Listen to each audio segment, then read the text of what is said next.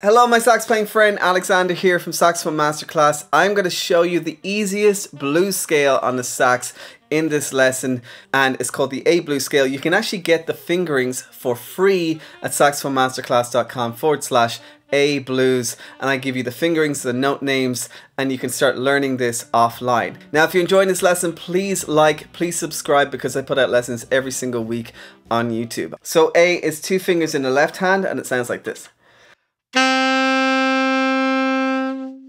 Then we go up to C, which is just that middle finger in the left hand. Then we go to D, which is three fingers in the left hand, three fingers in the right hand, and this octave key on the back. Then we just press the side key here, which is the D sharp, not this one here, that's low C. We press this one here, which is D sharp or E flat. Again, three fingers on the left, three fingers on the right, and the octave key. Then we go up to E, three fingers in the left, two fingers in the right, and the octave key.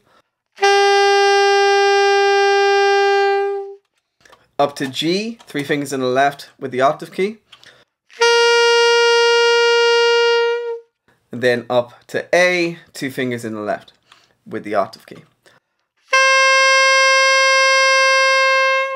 It sounds like this.